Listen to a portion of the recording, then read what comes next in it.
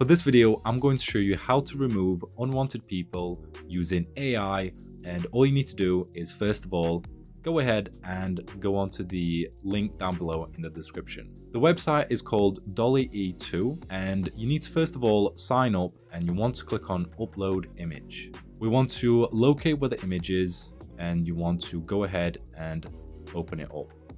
Once you've done that, you will need to sometimes crop this image. You can click on crop and go ahead and click on edit image. In here, you will have a simple workspace. You have the move cursor, you have the select, and the one that we want to do or select is the eraser. We need to first of all tell the AI what we want it to remove. And all we need to do is get ourselves a selection. Make sure you get yourself a nice quick selection. It doesn't have to be perfect. So we just want to remove it from here and there we go. So the next step from here is to tell the AI what you want it to do exactly. So in here, we're going to type in remove from photo. You can click on generate. And what this will do is it will remove this person from this image. Once it's done loading, you will get a variation of four different types of photos. And as you can see so far, some of them are decent. However, it has removed the person but also added some unnecessary things as well. Now keep in mind this program is in its early stages so it's not going to be perfect so you may need to do it a few times until you get a much better result. So for example, the first time that I did it, I got this one right here, which was really good because it meant that I can go into Photoshop and just easily remove this bit and this bit right here. Go ahead and download this image and we're going to edit the rest in Photoshop.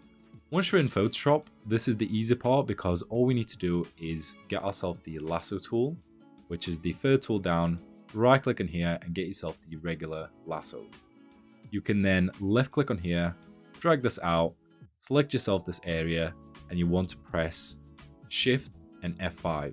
However, if you have the latest version of Photoshop, you can do something even better and you can right click on here and go down to delete and fill selection.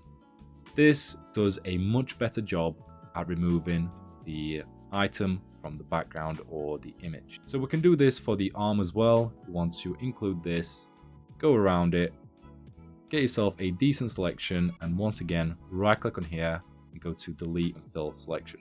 Now, we also have a few little dots here and there, and we can remove these by going to the healing brush tool, right click in here, and get yourself the spot healing brush tool. We're going to use the first square bracket to make it smaller, and you just want to simply left click on here to remove the extra areas. So we're just going to remove this one.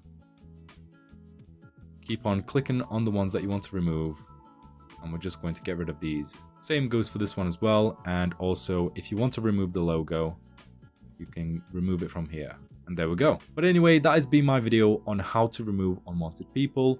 If you would like to see how to replace anyone or anything from a photo, click on the screen and watch the next video. Until next time, I will see you all in that next video. Bye.